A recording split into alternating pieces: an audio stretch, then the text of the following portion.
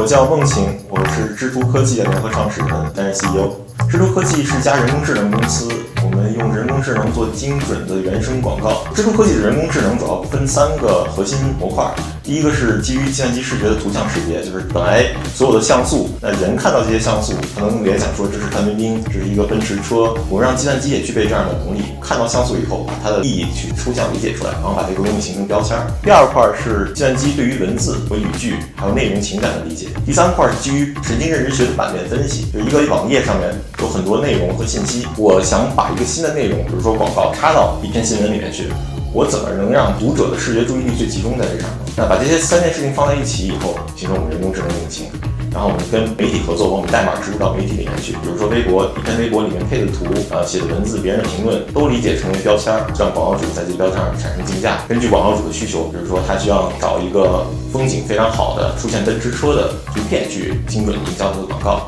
呃，那我们就可以做到这样的事情，并且毫无违和感的把这个广告推送出去，使得它产生最好的效果。比如说，我举个例子啊，之前我们有个广告主是做人寿保险，那人寿保险在互联网上进行投放的时候是，其实没有什么特别好的定向方式。那如果直观的去想，最好的定向方式应该是什么？你在看一篇关于车祸现场的文章的时候，它能够在车祸现场图片附近能够出现一个卖人寿保险，那这是可能是一种非常精准的定位。你的恐惧感是最强的。你在这个场景里面，我们希望给你推荐跟场景直接相关的东西。那做的第一步，首先要理解场景是什么。第二件事情是根据这个场景去给你推荐合适的东西。但是有没有方式能够找到所有车祸现场图片，并且可以把这些信息都给提出出来？所以广告主提出来需求就是说，好，我需要在所有跟车祸现场相关的这种图片里面去投放我的广告。那车祸现场可能就是一个标签在我们，他会可以选择这个标签，然后他去参与竞价。呃，他成功竞价的话，那他就会他的广告会通过我们平台投放到。可能是微博，可能是一个门户网站，关于售后现场的图片的周围或者上面。呃，知图科技现在在北京和在美国加州有两个办公室。